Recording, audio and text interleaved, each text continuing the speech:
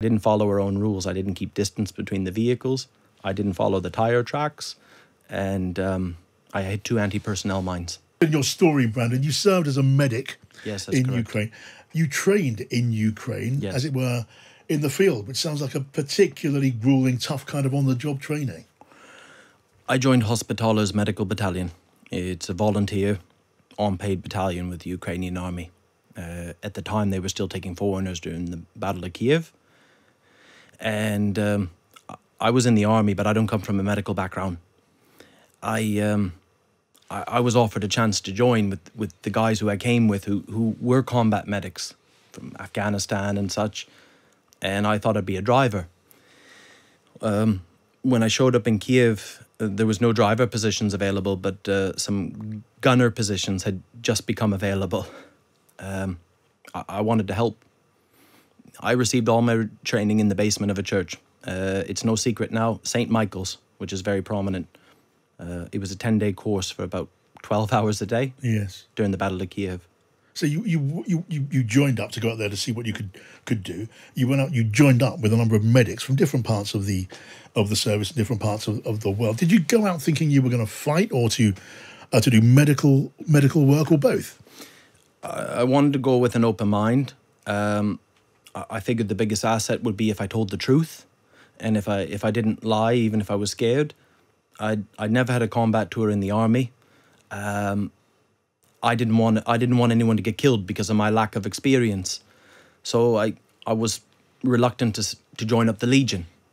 Uh, but the boys I came with were invited to hospitalers and and they asked me if I would like to go a- and that was I was scared to go to Kiev. For, scared for everything, but scared to leave Lviv and go to Kiev. But when when they asked me and said I could join, well, do I want to help or not? I mean, look, obvious question, Brandon. Why did you want to go? I know you've done service in the army, but what was in your mind when you thought, "I want to go to I want to go to Ukraine"? Well, um, the shortest answer, but key. I'm a recovering alcoholic for 11 years, and uh, I don't want to go too far into the 12 steps, but I, from 26 on, I kind of had to learn how to relive life and, and do the right thing, and sometimes just do the right thing for the right reason. Um, I knew if I wouldn't, if I didn't go, I I would feel a, a pain inside. I I felt compelled to go and with just with an open mind, whatever would happen. That's an interesting way of describing it. And so, so you went and you got your medical medical training. You said in the basement of a of a church. St. Michael's, very prominent church. Joe Biden's been there since, but, Yeah. but I was there first. You were there first, and then you went to do what you went there. It turns out to to do. Were you were you were you treating people on the battlefield or in the towns or what were you doing? After the Battle of Kiev, I, I missed the Battle of Kiev. I can't claim any credit for that. Um, we were sent on an ambulance rotation. Our, our battalion gets sent to plug holes in various brigades, and our first rotation was actually in a hospital, the, the nearest hospital to the Russian lines between Poltavka and Huliaipole in, in Zaporizhia Oblast. I spent one month there, um, and I learned the difference between good and bad pre-hospital care. I- um, thereafter, I got my first front rotation uh, about maybe 15, 20 kilometers south. So on the battlefield, in the very much in the front line. A couple kilometers back, yeah. Right. A couple kilometers back. And in this time, so even in that short time after you got there, you were you you've been treating civilians and combatants and soldiers. We got some civilians in the hospital towards the end of my month there. Yeah. Um, wounded women in particular Yeah, uh, from artillery.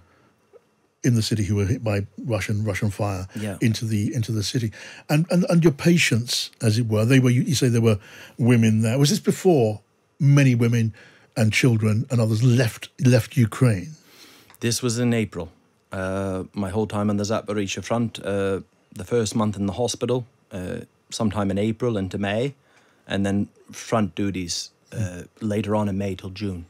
Yeah. Yeah. Um, So women and and children, I'm guessing, who were victims. I, of, I've, I've only, I've only, oddly enough, all the civilians that were wounded were women uh, in that hospital, mostly soldiers. Uh, they'd come in waves, um, but no less than five women. because because the men were basically in the front line for the most part. Front line. Uh, a, a lot of there's a lo- women tend to outlive men in Ukraine, especially in the villages. Don't don't ask me why. A lot of stubborn babushkas don't want to leave their home. Yeah, yeah. Yeah. What, what was that experience like, Brandon, treating these women and, and some soldiers? Uh, did did you have in your your your medical unit? Did you have the equipment and the supplies that you needed to give people decent care? In the hospital, it was sporadic as the supplies would come and go. Um, we made do. We made do. Um, yes, we did, but more supplies came, and they came sporadically. Uh, MSF offered to help a lot. I, I remember them. Medicine Sans Yeah, Frontières, yeah. and a lot of independent volunteers, mostly Ukrainians, like a man with a van. yeah. There's a lot of that in Ukraine, especially Donbass. Especially Donbass. These were Ukrainians helping out, or foreigners too, who were arriving from all over Foreigners with, too. with supplies. yes, men with a, um, like a man with a van. A man with a van, yeah. I wonder what it, what it was like for you then, as a as a foreigner arriving in Ukraine to to join the work in the front line and in the those providing medical medical treatment. What sort of reception were you getting from Ukrainians, for example? At first, they were very skeptical of us. Uh, Were there they? Yeah, there were a lot of people, particularly in my battalion, that um, they like to talk. Uh, one we called Captain America. I was in Fifth Group Special Forces, 10th Mountain Division, been to Syria, Iraq. Those things were lost on the Ukrainians. They just want to know what is your job? Are you a paramedic? Are you a driver? Are you a. Okay. There's limited language skills, and most of them had never served before that. So the cultural references and the macho, it didn't mean anything to them. Yeah. It, not at all. Not at all. Yeah, yeah. Uh, So you you met all sorts of people. There were people who were there just to help out. There were some people there on what you described as a kind of a macho, a bit of a macho macho trip. But the but the the work that was being done was so desperately needed. The bravest person I ever met is a 19 year old girl that I worked with. Yeah. Tell Yeah. me about her. Her name's Nika. Uh, she's my best friend. I'm, I'm 37 and quite conservative, and we're a different generation. Uh, she joined our battalion later in June, uh, but we, we originally started working together in, in Soledar. Um, I know a lot about Soledar. I was wounded there earlier in the year, but um, their team was outside Soledar, and I, I helped them with a generator, with, with replacement tires. We went on to work for a couple months. Um, the first shell of the morning, I'm I'm a little bit jumpy, and I'm more scared of the outgoing ones because they're quite close to you, like a mortar. Like if I'm driving down the road, Blahodatne outside Soledar, boom, uh, I'm a little bit jumpy. I've never seen her jump once.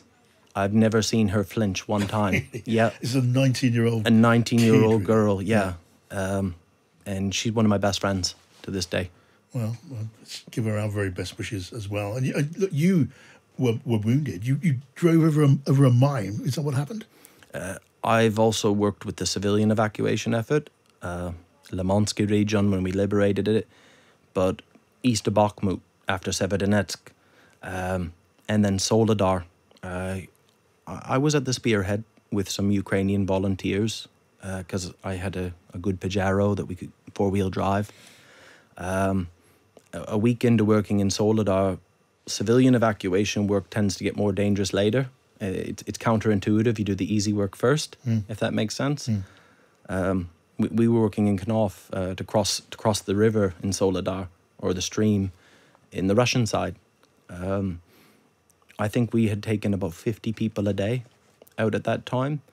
And my last day, um, we got nine people out, four children, uh, and the Ukrainians side had had mined the bridge with with the anti tank mines. That's that's very scary. Um, Russians have the ability through aviation and artillery to drop anti personnel mines, more or less where they please. Um, we made it into Knopf once, and um, we got nine people out. Um, there was more people willing to go. The, the, the sooner the Russians get there, the, they're quite keen to go. Um, I, I wanted to make one last run before dark. Uh, dark. Dark is very dangerous. Um, I, I didn't follow our own rules. I didn't keep distance between the vehicles. I didn't follow the tire tracks, and um, I had two anti-personnel mines. You Yeah. drove over two. Yeah.